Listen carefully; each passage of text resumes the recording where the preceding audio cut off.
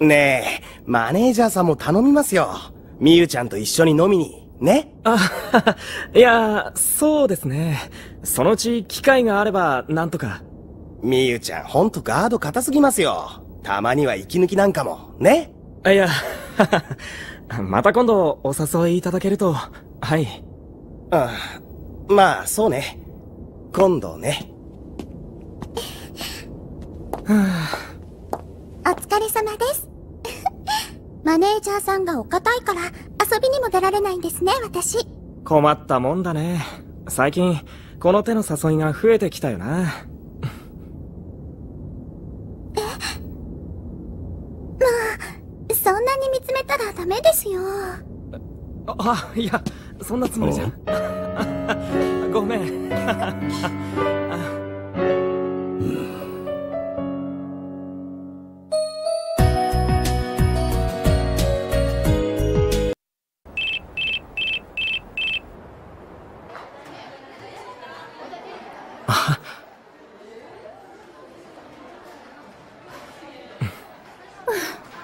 ったく鼻の下伸ばしてだらしない顔。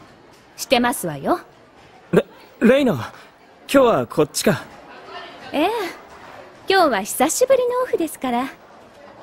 みゆさんは今日はお仕事のようですわね。うん。収録でね試験と重なってついていけないけど。マネージャーも大変ですわね。みゆが頑張ってくれるからそんなこともないよあらおのろけですの？ちょちょっと。清純派アイドルのみゆさんにはその手の噂が全くないですもの。マネージャーがしっかりガードしているってもっぱらの噂ですわよ。でも気をつけてくださいね天童さん。みゆさんを狙っている方は多いですから。この業界は無法地帯ですから。用心するに越したことはないですわ。まあ、恋人がガードしているんですもの、大丈夫だと思いますけど。ああら、恋人さんからのメールかしら。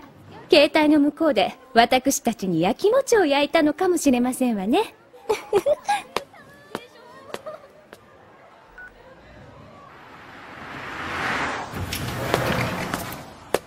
お疲れ様。りょうたさん、はい。疲れてるね大丈夫？は い大丈夫ですよ。亮太さんの顔見たら元気になりました。じゃあ帰ろうか。おや？みゆくんと天童マネージャーお疲れ様です。寺田プロデューサー。悪かったね天童くん。